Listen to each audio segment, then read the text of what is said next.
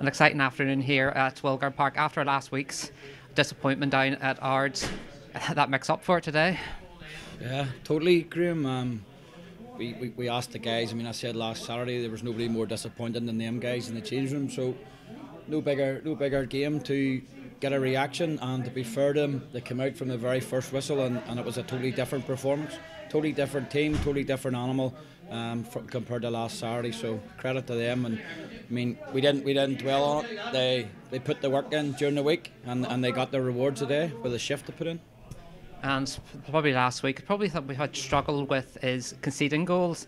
Today we didn't, and Portadown didn't really test us that much during the game. No, I think um, even with the pre-match antics, I think um, it suited us the way they played, and, and Jay and Jimmy um, coped comfortably, and so did the rest of the back four.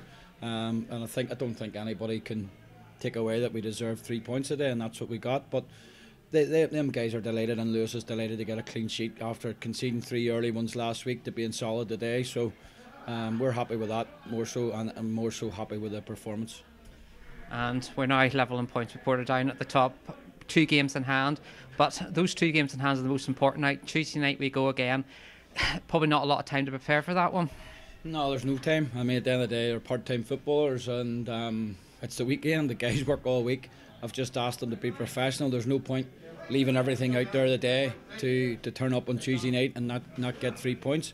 But you won't get three points on Tuesday night if you don't put the same effort and commitment in as we did today. So um, we'll assess things on Monday and see how the guys are with the knocks and, and see what way. I mean, we've got a squad there. There was guys didn't get on today.